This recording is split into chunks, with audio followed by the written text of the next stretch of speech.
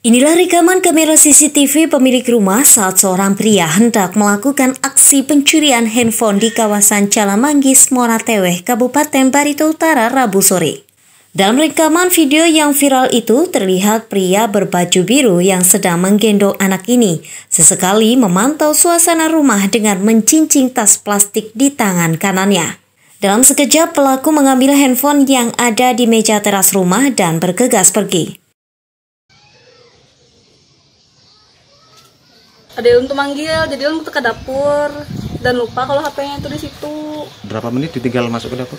Pak, kan hmm, kalau di CCTV kemarin kayaknya semenit dua menit bang Sampai ke sebelum belakang ya? kejadian tuh ini Setelah naruh HP ini Mm-mm. udah udah lupa tuh udah lupa sama HP-nya tuh Selang beberapa jam usai videonya viral, akhirnya pelaku mengembalikan handphone yang dicurinya kepada korban.